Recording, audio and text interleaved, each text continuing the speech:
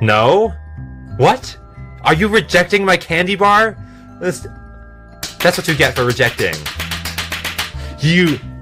You should eat the food given to you, Teardrop. That's very ungrateful.